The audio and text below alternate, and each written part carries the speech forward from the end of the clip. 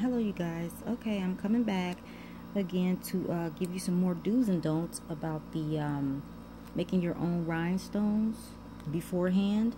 Um, i had a lot of questions and i know that my uh, first video well the last one whatever was extremely hard to see. Okay like i said that was my first time um, and i'll get used to it just like right now i'm working from the side. Okay i got it sitting this way and I turned the mat this way.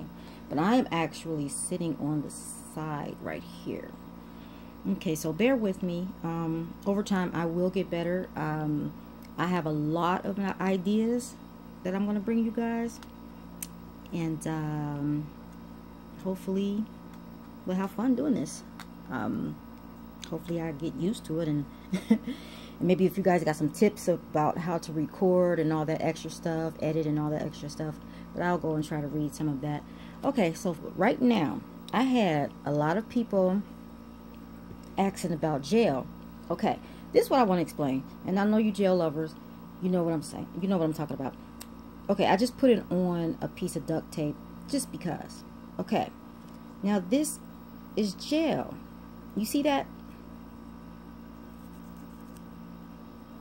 You do not want to put your pre-made rhinestones on that.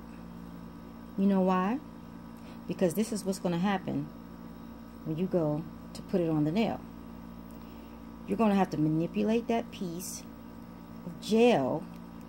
It's not going to lay on the nail. You see what I'm saying? It's just it's it's just not going to work. It's it's hard. You see?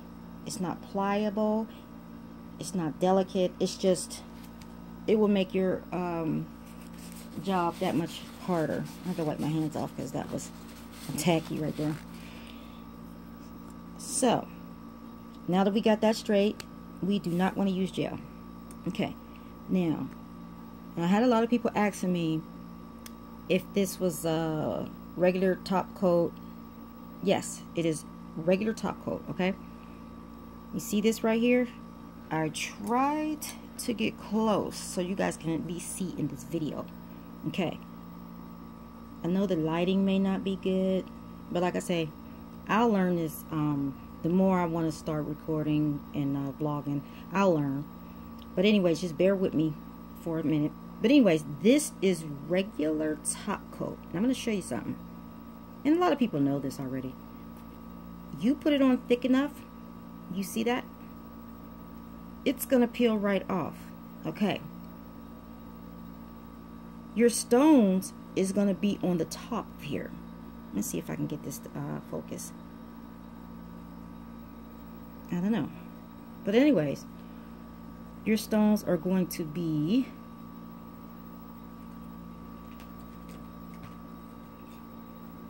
on the top of here. Okay. And you see how this is just pliable. You can bend it. You could do all kind of stuff with it. And how it will lay on the nail. As soon as you stick it, it's going to lay. You could press it. You could do whatever. But um, I, I strongly suggest that all of this be cut around the rhinestone. That's just what I feel would be better. so anyways, now look at this. I'm trying to focus, you guys. You see how pretty that is? Look. Now put this together.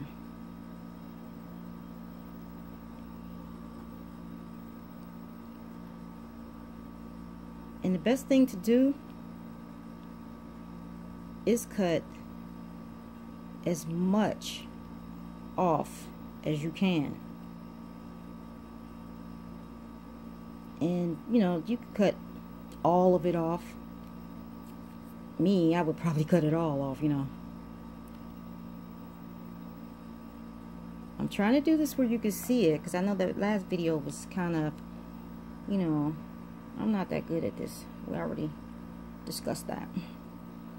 Okay, so I'm trying to cut all of this off okay And this is a pretty large one too, so only because of the triangle. Because of the shape of the uh, triangle, so it's, it's pretty big. And I don't even know if it's going to go on the, uh, the nail over here. But anyways, yes, I cut it all off. Okay. And then I had a few people, well, I ain't going to say a few. I, I had a lot of people to ask me, how were these rhinestones stuck on here? Okay. Now you guys see, I cut all that off. Uh, I'm not doing too good at this focus stuff here. okay, let's see. Yeah, you can see it now. Maybe I'll pull back a little bit. Uh-oh. It, it's, it's folding down because it's that delicate. You see how I cut just about all of it off, just enough for it to stay together? Well, I turn it over. This is what I want you to see. I'm going to try to hold it where you can see it. Now, can you see that? Let's see. Okay, I'll bring it down and it fo it'll focus. See? You see how it's all stuck on there? It's all stuck on there. And what's going to happen is when you get ready to put it on the nail, and like I said, I always use resin. That's just my preference. That's what I use. Um, and none of my rhinestones ever come off. If you use the resin, and I like to put it on here, that way I don't get it all over my fingers, because this stuff can be really sticky. And I still do get it on my fingers sometimes. And then I put this on here. Now, what's going to happen is, ugh, Try not to get it on my fingers. What's going to happen is that resin is going to make the top coat. Oof, I'm sorry, y'all. That resin is going to make the top coat. See, you just see that that one was kind of big. It just, uh oh, let me see. Smash it down. It's a little crooked, you guys. But you see, you see it. It's it's on there, and it's on there flat. Oh, I got glue on my camera. Oh, no, my screen. See, it's gonna lay on there flat.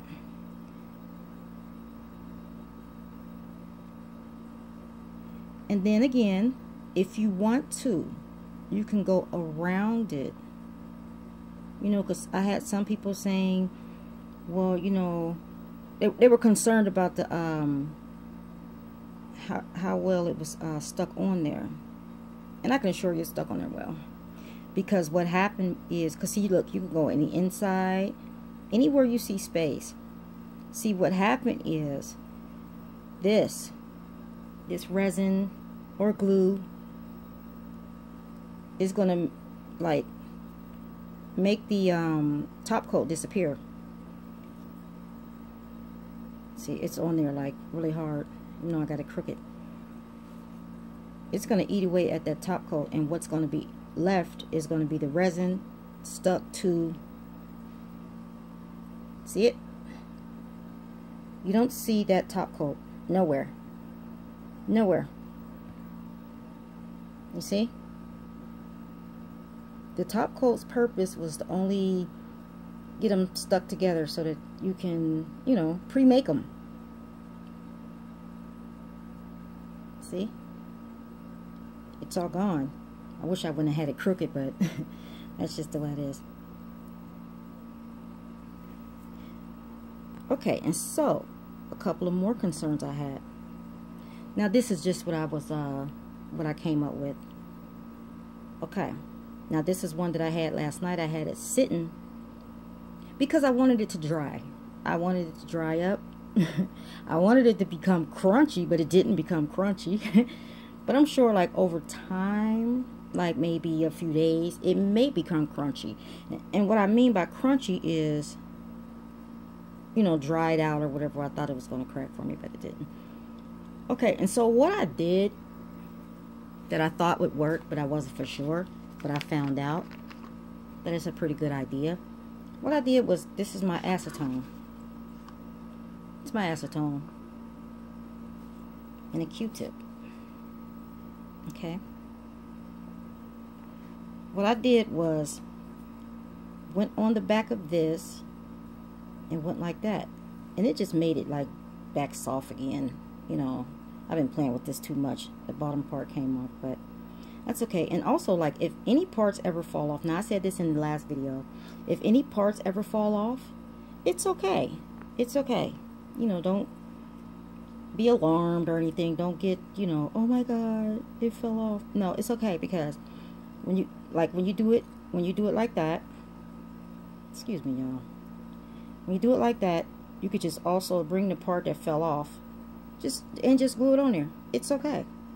You're not messing up. You're not doing anything wrong. You're just putting it back on there. But if you use um, your top coat thick enough, you don't really have much to worry about.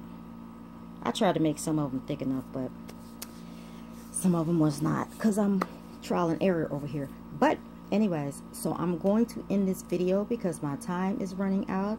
I thank you guys for watching. Stay tuned. I got a lot of great videos coming up and you will like them. I can promise. I got another good one coming up next.